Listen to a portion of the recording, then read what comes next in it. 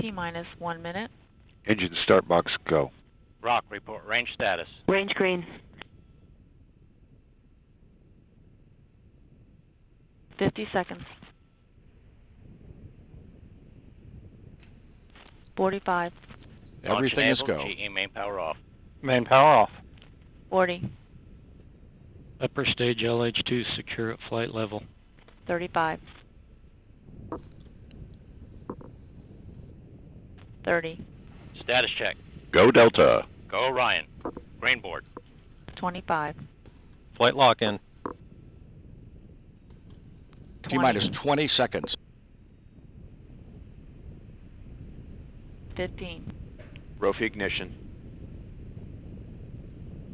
The 10, igniters have been lit. 9, 8, 7, 6, Five, four, three, two, one. And liftoff at dawn. The dawn of Orion and a new era of American space exploration.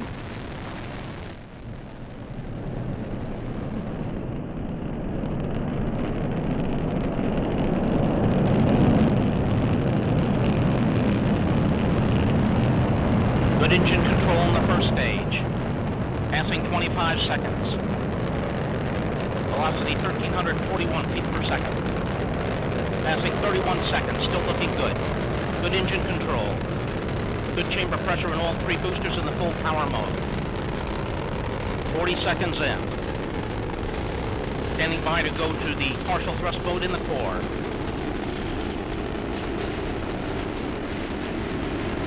and we have partial thrust command in the core. Core chamber pressure beginning to drop as expected as we're coming up on the one minute mark. Mark, one minute into the flight. Still looking good. Good chamber pressure in the core booster in the partial thrust mode. Good chamber pressure in port and starboard in full power mode.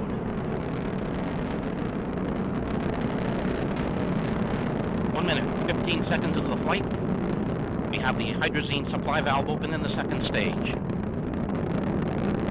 One minute, 22 seconds in. Max Q, maximum dynamic pressure on the vehicle. Passing 124, Mach 1. Orion and Delta 4 now transcending the speed of sound. One minute, 31 seconds in. Good engine control in the first stage. Coming up, one minute, 40 seconds. Velocity now 1,341 feet per second. One minute, 50 seconds in.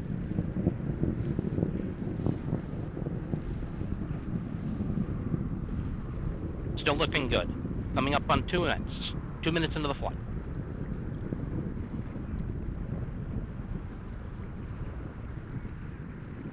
Good engine control on the first stage. Port and starboard boosters still at good uh, chamber pressures in the full power mode and good core chamber pressure in the partial thrust mode at 2 minutes 22 seconds in.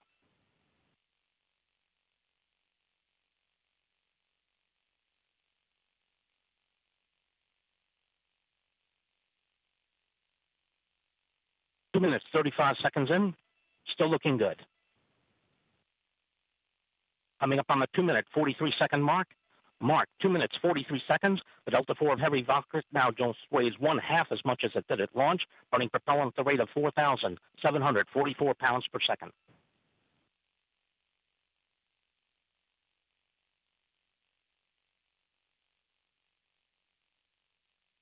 Three minutes, one second into the flight. Still looking good. Passing Mach 5.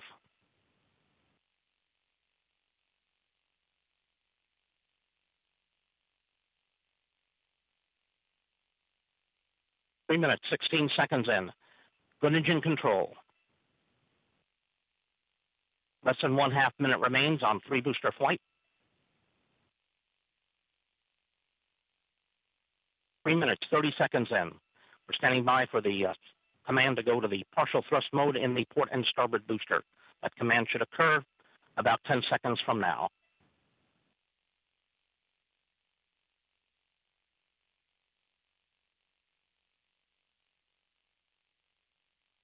And we've had partial thrust command. Port and starboard should be toggling down to the partial thrust mode. Standing by for main engine cutoff. We have cutoff in the port and starboard and separation. A good separation of the port and starboard boosters. Core booster now powering up to the full power mode. Four minutes, 10 seconds into the flight. Good chamber pressure in the port. Uh, correction, good uh, chamber pressure in the core booster at four minutes, 18 seconds in.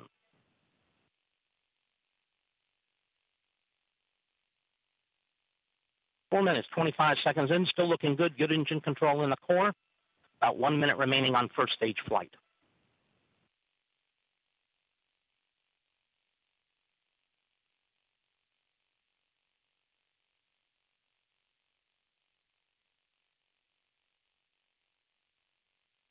Four minutes, 46 seconds in, still looking good. Chamber pressure holding very well in a core booster as we're approaching the five minute mark. Five minutes into the flight. Standing by to go to the partial thrust command. That partial thrust command about 15 seconds from now.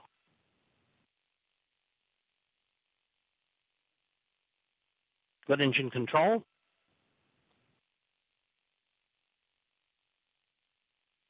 Five minutes, 20 seconds in. And we have partial thrust command in the core. Core chamber pressure beginning to go down. As expected, standing by for MECO. We have MECO. The main engine has cut off. Standing by for stage separation. Each have stage separation. Heads is deploying. The nozzle has been extending. Standing by for igniter spark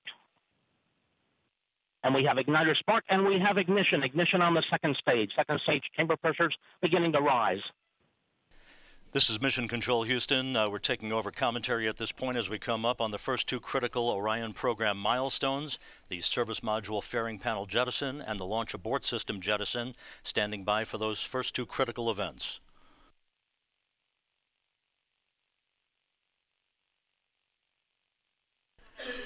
The uh, service panel uh, jettison uh, has occurred. The three 13 by 14 foot panels have separated. And we have launch abort system jettison. The 361 pound solid propellant motor has pulled the launch abort system free from the uh, upper stage and from Orion. Everything going extremely well. The first two critical uh, milestones have been accomplished, and we are now processing uh, telemetry from the Orion spacecraft through the tracking and data relay satellite system. Coming up on the seven minute mark into the mission,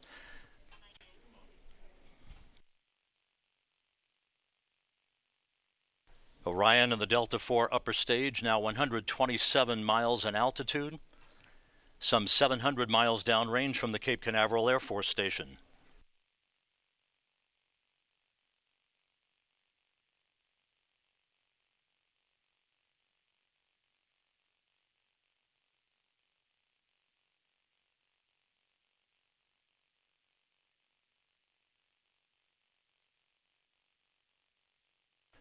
Reports here in Mission Control indicate that Orion's uh, guidance uh, Systems are up and running in good shape.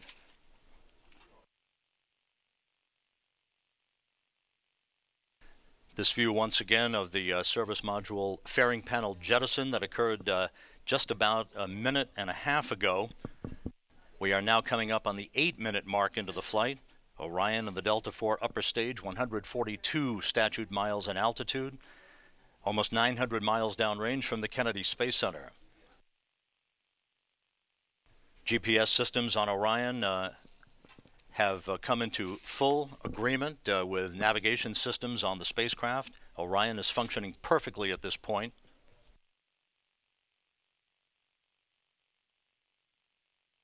Orion heading uh, almost due east from the Kennedy Space Center in an orbit inclined uh, just about 28.4 degrees to either side of the equator. Eight and a half minutes into the flight, the upper stage is currently traveling and carrying Orion to its preliminary orbit.